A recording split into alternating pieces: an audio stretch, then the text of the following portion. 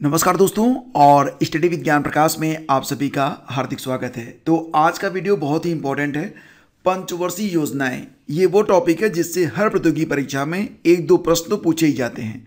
तो ये वीडियो देखने के बाद आपको कहीं और जाने की ज़रूरत नहीं पड़ेगी। सारा टॉपिक आपका यहीं पर एक ही वीडियो में कवर करवा दिया जाएगा। तो बस ध्यान से आप लोग पूरी वीडियो को वॉच करते रहें। वीडियो के अंत में मैं कुछ प्रश्नों को, यानी कि एम के रूप में आपकी प्रैक्टिस भी करवा दूँगा। तो ये एक शानदार वीडियो है। चलिए शुरू करते हैं आज का वीडियो। सबसे पहले आप ये जानिए कि जो पंचवर्षीय योजनाएँ हैं, उसका आधार क्या है। देखिए फ्रेंड्स, भारत के स्वतंत्र होने के बाद पंडित जवाहरलाल नेहरू की अध्यक्षता में अच्छा पंडित जवाहरलाल नेहरू, जो कि हमारे पहले प्रधानमंत्री बने तो उनकी अध्यक्षता में आर्थिक नियोजन समिति का गठन किया गया था। योजना आयोग से पहले आर्थिक नियोजन समिति बनाई गई थी। और आर्थिक नियोजन समिति की सिफारिश पर 15 मार्च 1950 को योजना आयोग का गठन किया गया। कई बार यह प्रश्न पूछा जाता है कि योजना आयोग का गठन कब किया गया? तो याद रखना 15 मार्च 1950 को। और भारत के प्रधानमंत्री इसके अध्यक्ष थे। और भारत में जो पहली पंचवर्षीय योजना स्टार्ट हुई, कब शुरू हुई? एक अप्रैल उन्नीस सौ इक्यावन से। लेकिन थोड़ा सा और आपको जानने की ज़रूरत पड़ेगी। देखो फ्रेंड्स योजना आयोग के पहले अध्यक्ष बने पंडित जवाहरलाल नेहरू, जबकि पहले उपाध्यक्ष कौन थे? गुलजारी लाल नंदा। तो ये बात आपको बिल्कुल रटी हुई नहीं होनी चाहिए। इसके बाद याद रखिए कि 15 अगस्त 2014 को योजना आयोग को समाप्त कर दिया गया। तो योजना आयोग का जो स्पैन रहा, वो कब से कब तक रहा? 15 मार्च 1950 से लेकर 15 अगस्त 2014 तक योजना आयोग काम करता रहा। इसके बाद योजना आयोग के स्थान पर एक नया कमीशन बना, जिसको कहा गया नीति आयोग। तो एक बात और भी, कि गरीबी हटाओ, देश बचाओ का जो नारा था, वो 1971 के आम चुनाव में इंदिरा गांधी ने दिया था। गरीबी हटाओ, देश बचाओ का नारा दिया गया 1971 में। 1971 में चौथी पंचवर्षीय योजना काम कर रही थी, और ये नारा दिया गया था मतलब चुनाव के दौरान। लेकिन पांचवी पंचवर्षीय योजना में इस नारे को शामिल कर लिया गया। तो एक प्रश्न ये भी बनता है कि गरीबी हटाओ, देश बचाओ, ये अभियान किस पंचवर्षीय योजना में शुरू किया गया था? तो इसका आंसर बनता है पांचवी पंचवर्षीय योजना। क्यों? क्योंकि 1971 में जब चौथी पंचवर्षीय योजना थी, तब यह केवल चुनावी नारा था। लेकिन बाद में, यानी कि जब पांचवी पंचवर्षीय योजना जब शुरू हुई तो इसे पंचवर्षीय योजना का उद्देश्य बना दिया गया। तो इसलिए प्रश्न बहुत इंपॉर्टेंट है और इसका उत्तर रहेगा पांचवी पंचवर्षीय योजना। भारत की जो बारह पंचवर्षीय योजनाएँ रही हैं, उनके जो उद्देश्य हैं और जो उनका टाइम स्पेन रहा, उसके बारे में एक बहुत ही ब्रीफ में मैं आपको बताता हूँ। देखो, पहली पंचवर्षीय योजना ये स्टार्ट हुई थी उन्नीस सौ इक्यावन में, चली थी उन्नीस सौ छप्पन तक। इसमें कृषि को प्राथमिकता प्रदान की गई। दूसरी पंचवर्षीय योजना शुरू हुई उन्नीस सौ छप्पन में, खत्म हुई थी 1961 में। इसमें उद्योग क्षेत्र को प्राथमिकता प्रदान की गई। फिर आता है तीसरी पंचवर्षीय योजना 1961 से लेकर उन्नीस तक। इसमें भी कृषि को ही प्रधानता प्रदान मतलब कि क्या किया गया कि स्व रिलायंस स्व रिलायंस का मतलब आत्मनिर्भरता, लेकिन वो भी कृषि के क्षेत्र में। तो बेसिकली जो उद्देश्य था वो था कृषि क्षेत्र को बढ़ावा देना। फिर आता है चौथी पंचवर्षीय योजना। तो देखो, यहाँ पर एक गैप मिलेगा आपको। उन्नीस में जब तीसरी पंचवर्षीय योजना समाप्त हुई, उसके बाद तीन साल तक छाछठ, सड़सठ और अड़सठ में अवकाश रहा। योजना का अवकाश रहा। उन्नीस सौ उनहत्तर से लेकर उन्नीस सौ चौहत्तर तक भारत के साथ गरीबी कम करना और विकास कार्य में तेज़ी लाना, इस उद्देश्य के साथ चौथी पंचवर्षीय योजना स्टार्ट की गई। फिर पांचवी पंचवर्षीय योजना, उन्नीस सौ चौहत्तर से लेकर उन्नीस तक। इसमें उद्देश्य क्या था? गरीबी को हटाना और उनको आत्मनिर्भर बनाना। उन्नीस के बाद फिर 1980 से लेकर उन्नीस सौ पचासी तक एक छठवीं पंचवर्षीय योजना स्टार्ट की गई और इसमें क्या था? पांचवी योजना के रूप में वही जोड़ दिया गया, जो कि पांचवी योजना का यहाँ पर उद्देश्य था। वही छठी पंचवर्षीय योजना का भी उद्देश्य बताया गया। इसके बाद देखिए, सातवीं पंचवर्षीय योजना आती है, उन्नीस सौ पचासी से लेकर 1990 तक। फ़ूड प्रोडक्शन रोज़गार और उत्पादकता, इसका लक्ष्य रहा। लेकिन सातवीं पंचवर्षीय योजना के बाद यहाँ पर आप देखेंगे कि दो साल का फिर गैप आता है, उन्नीस सौ इक्यानवे तो आठवीं पंचवर्षीय योजना जब शुरू हुई तो सातवीं और आठवीं के बीच में दो साल का गैप आपको देखने को मिलेगा। उन्नीस सौ बानवे से सत्तानवे तक चली आठवीं पंचवर्षीय योजना। इसका उद्देश्य था रोज़गार सृजन, जनसंख्या का नियंत्रण। इसके बाद फिर कोई गैप नहीं होता है। यानी कि आठवीं, पंचवर्षीय योजना के बाद फिर नौवीं, दसवीं, ग्यारहवीं और बारहवीं में आप पाँच पाँच साल जोड़ते जाइए। आपको हर पंचवर्षीय योजना का सही समय पता चलता जाएगा, क्योंकि कोई गैप नहीं था इसमें। और कोई खास इसका उद्देश्य भी नहीं था, क्योंकि इसके बाद उद्देश्य अक्सर एग्ज़ाम में नहीं पूछे जाते हैं। आप चाहें तो यहाँ पर पढ़ सकते हैं। तो ये बातें आपको मुख्य रूप से पंचवर्षीय योजनाओं के बारे में याद रखना है। इसके बाद आइए हम लोग थोड़ा सा डिटेल में चलते हैं। सबसे पहले बात करते हैं पहली पंचवर्षीय योजना के बारे में। तो देखो फ्रेंड्स, जो पहली पंचवर्षीय योजना थी, उन्नीस सौ इक्यावन से लेकर उन्नीस सौ छप्पन तक चली थी। इसमें कृषि क्षेत्र पर ध्यान के साथ बहुउद्देशीय परियोजनाएँ, जैसे कि हीराकुड बाँध जो था, भाखरा, नांगल बाँध जो था, इस पर ध्यान जो है लगाया गया। जीडीपी का वार्षिक लक्ष्य कितना मतलब कि टारगेट कितना किया गया? 2.1 अचीव कितना हुआ? 3.60 यानी कि उम्मीद से अधिक हमें प्राप्त हुआ। तो पहली पंचवर्षीय योजना पूर्णतः सफल रही। फिर आता है दूसरी पंचवर्षीय योजना। इसका समय रहा उन्नीस सौ छप्पन से लेकर उन्नीस सौ इकसठ तक। औद्योगिक विकास की नीति, इसका उद्देश्य था। टारगेट किया गया 4.5 परसेंट का, लेकिन अचीव हुआ 4.1 तो थोड़ा सा कम हुआ, लेकिन फिर भी यह योजना सफल मानी जाती है।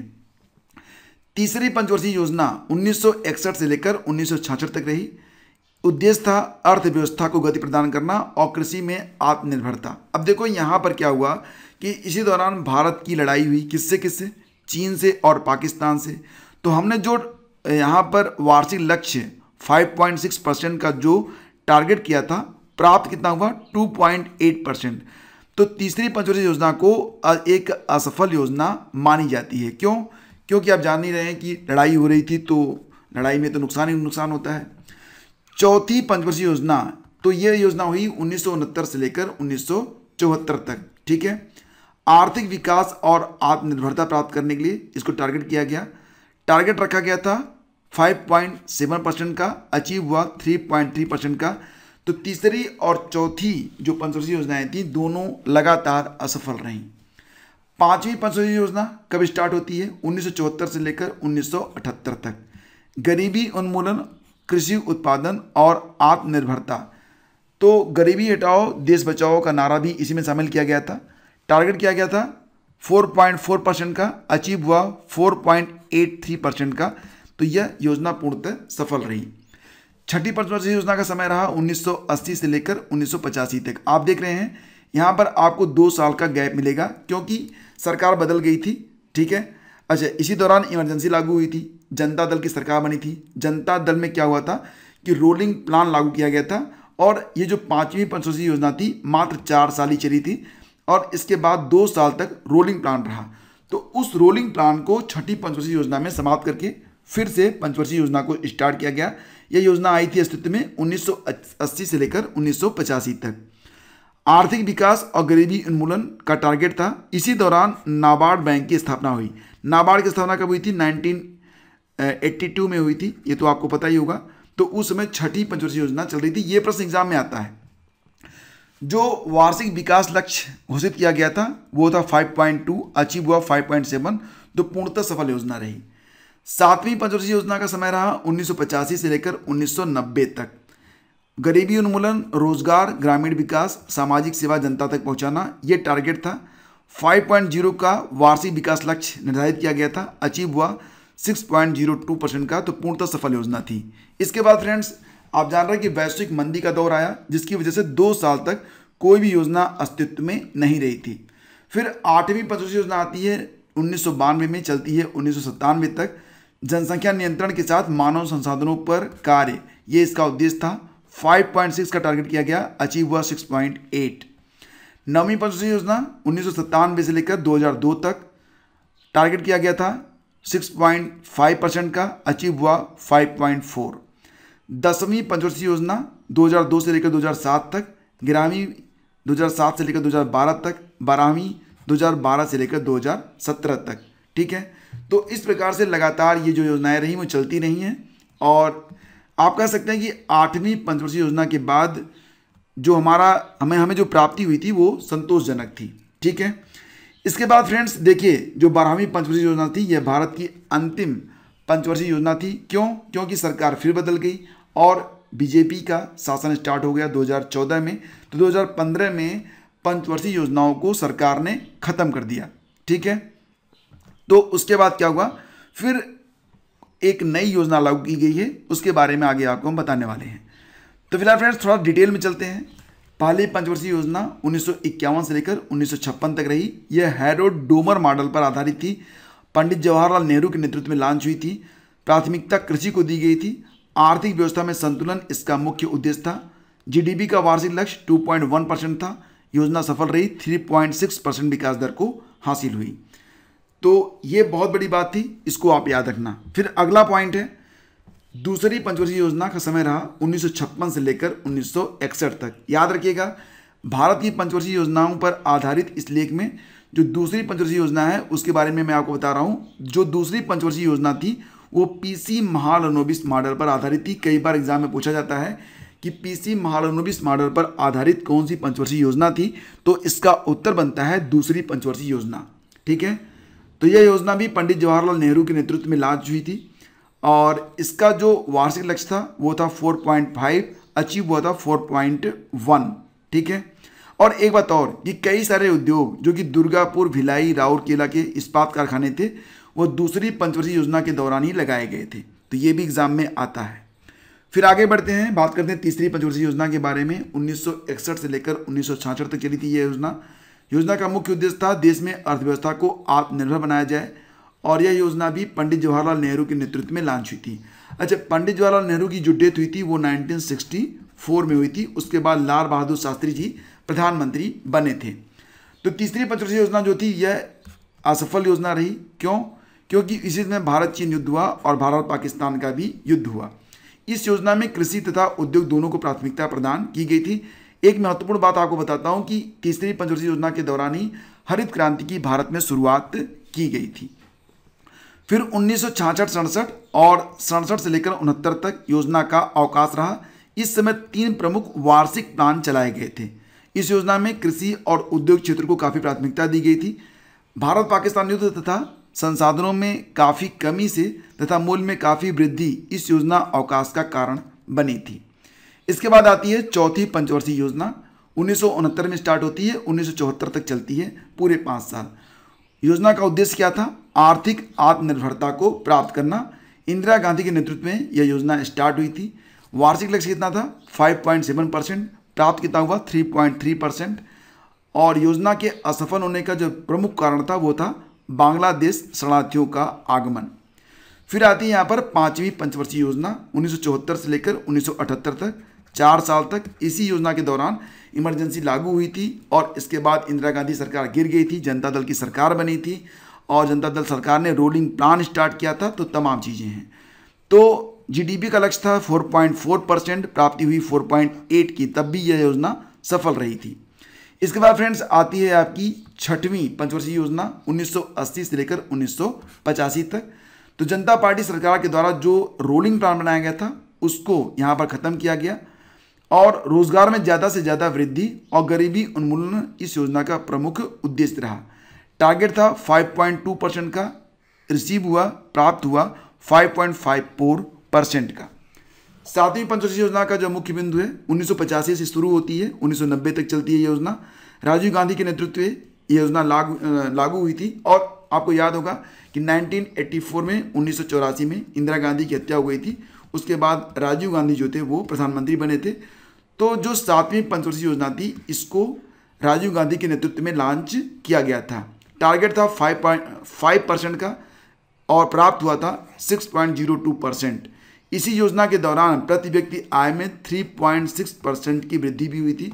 तो एग्ज़ाम में ये भी आता है कि किस पंचवर्षीय योजना के दौरान प्रति व्यक्ति आय में 3.6 परसेंट की वृद्धि हुई या प्रति व्यक्ति आय में वृद्धि हुई थी तो यह सातवीं पंचवर्षीय योजना थी। इस योजना में भोजन, काम और उत्पादन का नारा भी दिया गया था। तो एग्ज़ाम में भी आ सकता है कि भोजन, काम और उत्पादन का नारा किस पंचवर्षीय योजना में दिया गया था? इसका आंसर बनेगा सातवीं पंचवर्षीय योजना उन्नीस सौ पचासी से 1990 तक। उसके बाद वैश्विक मंदी का दौर शुरू हो जाता है तो भारत में भी इसका काफ़ी प्रभाव पड़ा था। दो साल तक कोई भी योजना लागू नहीं रही थी। इसके बाद आठवीं पंचवर्षीय योजना आती है उन्नीस सौ बानवे से और ये चलती है उन्नीस सौ सत्तानबे तक। इस योजना में सबसे ज़्यादा प्राथमिकता मानव संसाधन के विकास, रोज़गार और शिक्षा पर दी गई। योजना के समय पीबी नरसिम्हा राव प्रधानमंत्री थे तो उन्हीं के नेतृत्व में आठवीं पंचवर्षीय योजना जो थी, वो लॉन्च हुई थी। टारगेट था 5.6 परसेंट जीडीपी का। योजना सफल रही। प्राप्त कितना हुआ? 6.8 परसेंट और इसी योजना के दौरान प्रधानमंत्री रोज़गार योजना उन्नीस सौ तिरानवे में शुरू की गई थी। फिर समय आता है नौवीं पंचवर्षीय योजना का, उन्नीस सौ सत्तानवे से लेकर 2002 तक। तो इस योजना का प्रमुख उद्देश्य समानता के साथ विकास और न्याय वितरण था। योजना अटल बिहारी वाजपेयी जी के नेतृत्व में लॉन्च हुई थी। टारगेट था 6.5 परसेंट का, प्राप्त हुआ 5.4 परसेंट का, लेकिन फिर भी इसे सफल ही माना जाता है। इस योजना के असफल होने का प्रमुख कारण अंतर्राष्ट्रीय मंदी थी। इसी योजना के तहत क्षेत्रीय संतुलन पर विशेष ज़ोर दिया गया। फिर दसवीं पंचवर्षीय योजना का समय आता है। 2002 से लेकर 2007 तक यह कोई खास योजना नहीं थी, लेकिन फिर भी जो टारगेट था एट परसेंट का, वो साढ़े सात परसेंट तक गया। और इस योजना में कृषि उत्पादन में फोर परसेंट वृद्धि का लक्ष्य रखा गया था, लेकिन कितना प्राप्त हुआ? Three point four two percent ठीक है? इसके बाद ग्रामीण पंचवर्षीय योजना आती है 2007 से 2012 तक। मनमोहन सिंह के नेतृत्व में यह योजना जो थी लॉन्च हुई थी नाइन परसेंट का टारगेट रखा गया। Eight point eight three percent की प्राप्ति हुई। ग्रामीण पंचवर्षीय योजना के लिए, शिक्षा के लिए एक थीम रखी गई थी। थीम का नाम था तीव्र और अधिक समावेशी विकास। फिर अंतिम पंचवर्षीय योजना शुरू होती है 2012 से लेकर 2017 तक चली और इसका प्रमुख उद्देश्य तेज, अधिक समावेशी और सतत विकास रखा गया। योजना मनमोहन सिंह के नेतृत्व में लॉन्च हुई थी। जीडीपी का टारगेट 9 परसेंट था, प्राप्त हुआ था 8 परसेंट। इस योजना के तहत कृषि मत्स्य क्षेत्र 4 परसेंट का लक्ष्य रखा गया था। इसके अलावा विनिर्माण में 10 परसेंट का लक्ष्य रखा गया था। पाँच करोड़ लोगों को रोज़गार उपलब्ध कराने का भी टारगेट बारहवीं पंचवर्षीय योजना में रखा गया था। तो फ्रेंड्स, भारत में एक जनवरी 2015 में एक प्रस्ताव पारित किया गया तथा उस प्रस्ताव के तहत योजना आयोग की जगह एक नई संस्था नीति आयोग को अस्तित्व में लाया गया। नीति आयोग पंचवर्षीय योजनाओं के संबंध में भी सरकार को सलाह देने वाली थी, लेकिन इस योजना को समाप्त कर दिया गया 2015 में ही। एनडीए सरकार द्वारा पंचवर्षीय योजनाओं को 2015 में बंद किया गया और इस कारण बारहवीं पंचवर्षीय योजना के बाद पंचवर्षीय योजनाओं का कोई अस्तित्व नहीं रहा। नीति आयोग ने एक ड्राफ्ट एक्शन प्लान पेश किया था। जो पंचवर्षीय योजनाएँ थी, उसकी जगह पर एक ड्राफ्ट एक्शन प्लान आया, जिसके आधार पर अब पंद्रह वर्षों के लंबे विकास योजना पर काम किया जाएगा और यह जो योजना है 2017 से 2035 तक रहेगी। इसके तहत सात वर्ष की रणनीति बनाई गई है। तीन वर्ष एक्शन एजेंडा पेश किया जाएगा, जिसमें यह बताया जाएगा कि सरकार देश के नागरिकों को क्या क्या सुविधाएँ देगी, इत्यादि इत्यादि। तो फ्रेंड्स पंचवर्षीय योजनाओं के बारे में एक कंप्लीट डिस्कशन यहाँ पर हमने कंप्लीट किया। अब बारी है आपके नॉलेज टेस्ट की। तो चलिए कुछ प्रश्नों को मैं रखता हूँ आपके सामने, इसका उत्तर फटाफट आपको बताना है। तो पहला क्वेश्चन है, भारत की पंचवर्षीय योजनाओं को अंतिम स्वीकृति कौन देता है? देखो फ्रेंड्स भारत की जो अंतिम पंचवर्षीय योजनाएँ होती हैं बनाता कौन है? बनाता तो इसको योजना आयोग था। ये तो आप जानते ही हैं। योजना आयोग इसको बनाता था। लेकिन अंतिम स्वीकृति देता था राष्ट्रीय विकास परिषद एन तो ऑप्शन बी करेक्ट है। भारत में योजना आयोग का गठन किस वर्ष किया गया था? मैंने आपको बताया था कि भारत में जो योजना आयोग का गठन हुआ था, वो कब हुआ था? 15 मार्च 1950 में हुआ था। तो सही जवाब ऑप्शन ए है। भारत की पहली पंचवर्षीय योजना कब शुरू हुई थी? मैंने आपको बताया था। जो पहली पंचवर्षीय योजना थी, वो उन्नीस सौ इक्यावन से लेकर उन्नीस सौ छप्पन तक चली थी। सही जवाब है ऑप्शन ए। प्रथम पंचवर्षीय योजना किस मॉडल पर आधारित थी? ये प्रश्न बहुत ही अच्छा प्रश्न है मोस्ट इंपॉर्टेंट में रख लेना। तो पहली पंचवर्षीय योजना जो थी, यह हेरोड डोमर मॉडल पर आधारित थी। ऑप्शन सी आपका करेक्ट है। भारत की पहली पंचवर्षीय योजना का प्रमुख लक्ष्य क्या था? तो कृषि का विकास ये मैंने आपको बताया था। सही जवाब हो जाएगा इसका कृषि का विकास, ऑप्शन डी। भारत में औद्योगिकरण की प्रक्रिया किस पंचवर्षीय योजना में प्रारंभ की गई थी? तो मैंने आपको पढ़ाया था कि जो औद्योगिकरण लक्ष्य था, वो दूसरी पंचवर्षीय योजना का लक्ष्य था और जो दूसरी पंचवर्षीय योजना थी, वो कब से कब तक थी? उन्नीस सौ छप्पन से लेकर उन्नीस सौ इकसठ तक। तो सही जवाब बन जाएगा, दूसरी पंचवर्षीय योजना दैट इज़ ऑप्शन डी अगला क्वेश्चन है, द्वितीय पंचवर्षीय योजना किस मॉडल पर आधारित थी? इसको भी आप फाइव स्टार क्वेश्चन में रखो। ठीक है? बहुत ही अच्छा प्रश्न है। एग्ज़ाम में कई बार आता है। तो दूसरी पंचवर्षीय योजना जो योजना जो थी फ्रेंड्स वो पीसी महालनोबिस मॉडल पर आधारित थी। ऑप्शन सी करेक्ट है। पहली वाली थी हेरोड डोमर मॉडल पर, दूसरी वाली थी पीसी महालनोबिस मॉडल पर। दूसरी पंचवर्षीय योजना में किस पर अधिक ज़ोर दिया गया था? तो अभी हमने पढ़ा औद्योगिक विकास पर। तो ऑप्शन बी आपका यहाँ पर करेक्ट है। किस पंचवर्षीय योजना के दौरान देश में तीन लौ इस्पात संयंत्र स्थापित किए गए थे? तो फ्रेंड्स, ये जो लौ संयंत्र इस्पात लौ इस्पात संयंत्र जो स्थापित किए गए थे, मैंने आपको पढ़ाया था ना कि ये दूसरी पंचवर्षीय योजना के दौरान स्थापित किए गए थे। ऑप्शन डी आपका यहाँ पर करेक्ट है। दुर्गापुर, जो दुर्गापुर का लौ इस्पात संयंत्र था, वो ब्रिटेन की सहायता से, जबकि जो भिलाई का लौ इस्पात संयंत्र था, वो रूस की सहायता से स्थापित किया गया था। अगला क्वेश्चन है, दूसरी पंचवर्षीय योजना अवधि में स्थापित तीन लौह इस्पात संयंत्रों में कौन सा शामिल है? तो दुर्गापुर इस्पात संयंत्र राउरकेला इस्पात संयंत्र और भिलाई इस्पात संयंत्र। तो यहाँ पर सही जवाब बनेगा ऑप्शन डी। तीसरी पंचवर्षीय योजना कब से कब तक चली थी? तो मैंने बताया था आपको कि जो तीसरी पंचवर्षीय योजना थी फ्रेंड्स ये चली थी आपकी एक अप्रैल 1961 से लेकर 31 मार्च उन्नीस तक। तो ऑप्शन सी आपका बिल्कुल करेक्ट है। तीसरी पंचवर्षीय योजना की कार्यनीति में सर्वाधिक बल किस क्षेत्र के विकास को दिया गया था? तो फ्रेंड्स, मैंने आपको बताया था कि कृषि विकास इसका मुख्य उद्देश्य था, फिर भी इसका सही जवाब ऑप्शन बी ही बनेगा, क्योंकि आप जानते हो कि उसी दौरान भारत और भारत और चीन और भारत और पाकिस्तान से लड़ाई हुई थी और देश में उसी दौरान अकाल भी पड़ा था तो बड़ी बुरी स्थिति थी। तो कृषि पर ही हमारी अर्थव्यवस्था उसमें स्थित थी। तो हमारा प्रयास था कि कृषि में अधिक से अधिक उत्पादन लिया जाए। अगला क्वेश्चन है हरित क्रांति की शुरुआत किस पंचवर्षीय योजना में की गई थी? हरित क्रांति की शुरुआत जो है वो उन्नीस सौ पैंसठ में हुई थी। कहीं कहीं पर इसे उन्नीस सौ में लिखा जाता है। लेकिन इसका जो आंसर है वो बनेगा तीसरी पंचवर्षीय योजना। तो ऑप्शन ए यहाँ पर आपका बिल्कुल करेक्ट है। पंचवर्षीय योजना के इतिहास में भारत की सर्वाधिक असफल योजना किसे मानी जाती है? तो यह तीसरी पंचवर्षीय योजना थी ऑप्शन सी इसका बिल्कुल करेक्ट है। भारत में योजना अवकाश कौन सी पंचवर्षीय योजना के बाद घोषित किया गया था? तो फ्रेंड्स इसका आंसर बनेगा ऑप्शन बी तीसरी पंचवर्षीय योजना। तो ये पंद्रह प्रश्न थे और उम्मीद करता हूँ कि सभी प्रश्न आपने खूब इंजॉय किया होगा और मुझे पूरा विश्वास है कि पंचवर्षीय योजनाओं के बारे में सारे कंसेप्ट आपके बिल्कुल क्लियर हो गए होंगे। तो अगर वीडियो फ्रेंड्स पसंद आया है तो इसे एक बार लाइक कीजिएगा, अपने दोस्तों के बीच शेयर कर दीजिएगा। चैनल पर पहली बार हैं और ऐसे वीडियोज़ आपको अच्छे लगते हैं तो सब्सक्राइब करके जाइएगा। बेल आइकन को प्रेस करना बिल्कुल भी मत भूलिएगा। टेलीग्राम चैनल स्टडी विद ज्ञान प्रकाश से जुड़ जाइए। वहाँ पर आपको इसकी पीडीएफ शेयर कर दी जाएगी। Thank you so much.